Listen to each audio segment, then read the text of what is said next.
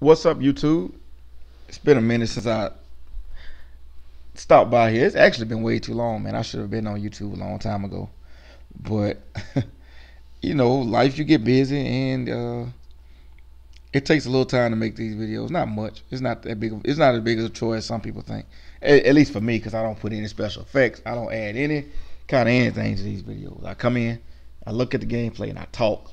I talk about the game some, but I talk about other stuff mostly, and uh, that's how I rock. But what's anyway? What's up? What's good, YouTube? How y'all been? Um, I finally decided to get my official Black Ops 3 review, and this time, this year, I wanted to take a little time to actually play the game more because last year I didn't play Advanced Warfare that much. I didn't give it a fair shot, even though I'm sure I wouldn't have liked the game. Um, because I the the exosuits, in my opinion, they're bad for Call of Duty. The jumping around and all the stuff that you see on Black Ops 2 is bad for Call of Duty. Now this game right here is not that big of a deal. Most of my gunfights are actually on the ground, so it's really no not that big of a deal. It's actually uh, the jumping around in this game is just sort of like a gimmick. It does nothing. It's really not a big benefit to jump, especially on console. Now if you're on PC, it's one thing because you have mouse and keyboard capability where you can aim and jump and do all that at the same time. Or if you have a SCUF controller, you probably can jump and aim and float and shoot at the same time. So uh, that might give you an advantage. But me, I don't have a control. I just have a regular controller, so uh, I don't get an advantage from jumping around. So I just keep my gunfights on the ground. I do jump every now and then to try to get out of gunfire, but the aim assist on this game is so strong that uh, it's hard to get away from gunfights. And they made the aim assist kind of ridiculous, to be honest, and to be fair, because they knew people people struggle to aim in Call of Duty. That's why I like keeping my gunfights at a distance because people, the hardest thing people do, uh, struggle to do in this game is aim. So the further away you can keep them, the less random shit you have to deal with. So my goal is that's why um, I used to love SMGs. Like Black Ops One days, I used to love the MP5K and the uh, AK-74U, or the uh, FAMAS, and I just rush, I run, lightweight marathon. But the Call of Duty has uh, progressed, actually regressed in my opinion, to uh, more of a sightline to sightline gunfight game, which is fine. I can do that too. Um, I'm actually pretty decent at that, so it doesn't bother me that much.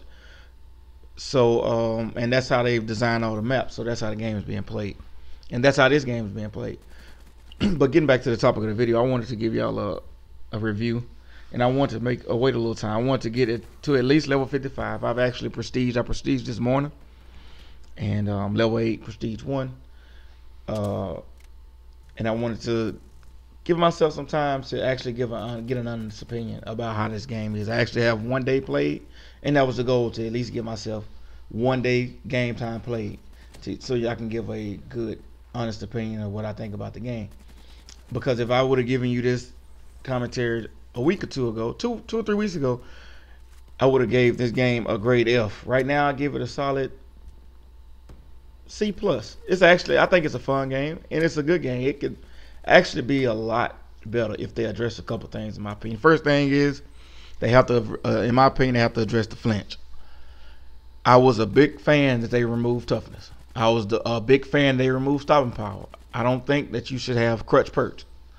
Uh, but I also think that they should add stuff like toughness to the game.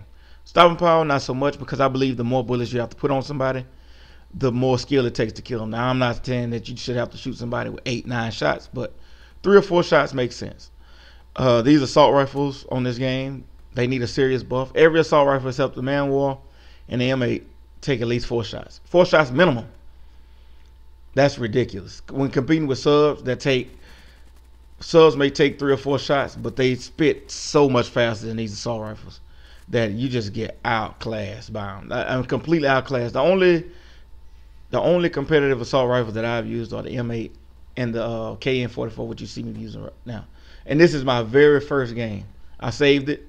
I knew I was gonna uh, eventually do a review, so I said I'll just use the very first game that I played as my official Black Ops 3 review. And uh, you see it. Uh, it's nothing spectacular. I think I went like 24 and 18 in a kill confirmed playing Chaos Mosh Pit, which is my favorite uh, game type to play simply because the maps on this game are the worst in Call of Duty history. Like, who I, the, uh, the people that design these maps, I don't think they ever played Call of Duty. I don't think they played Call of Duty before. These are the worst maps. Like Combine is a great map. Nuketown is a good map, and Evac is semi-playable. And let me think of another one. Uh, maybe Fringe, and Infection on Ground War is okay.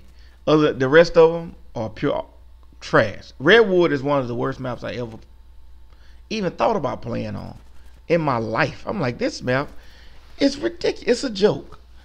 Um, it's nice to look at, but boy, it plays like shit. Um, and it's a lot of maps like that. That's not the only one. They design these nice, pretty maps, but they are awful to play on.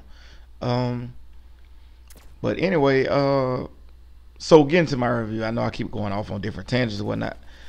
What I would give this game, I, I think it's a good game. That's something I wouldn't have said two weeks ago. That's why I wanted to give myself some time to actually play the game so I can give you a full review. And I honestly, I think it's a good game. I've, I've been having a blast with the last few days. Saturday, I played this game for eight hours straight. I hadn't played a video game of shooter because I've played Mass Effect for longer than that. I played Grand Theft Auto for longer than that. I haven't played a shooter for eight hours straight in years. It's been since Gears of War 2 since I played a shooter for that long at one time. So I enjoy this game a lot. I didn't even play Black Ops 1 and Black Ops 2 that long. Black Ops 1 because I was still playing Gears at the time, and Black Ops 2 because uh, I think Black Ops 2 is probably the second best in the series, but Black Ops 2 ran like shit, especially if you play with a party. It, the connections were bad. And those are two, two major pluses that this game added. The loss prevented stat. You don't get losses for joining games late. And the connect my connections have been good. Like actually really good. Uh, I played on a few um, dedicated servers and I played on a few hosts because console has this little hybrid thing that they go on dedicated, they go on host, just like uh, Gears War Three did. When they'll try to put you on a dedicated server, but if they couldn't find a match, they'll drop you into a a game that's uh, player to player, which is fine because my connections have been actually good all around, except for a few occasions. Last night I played two matches that I thought I was in Zimbabwe or somewhere. But other than that, uh, it's been de- decently good. But getting back to review, this game is good. Uh, it's got some problems. The flinch is one problem. The assault rifles need a buff. Um, it's got more problems on PC, but Xbox doesn't have those problems. The aim assist is too strong.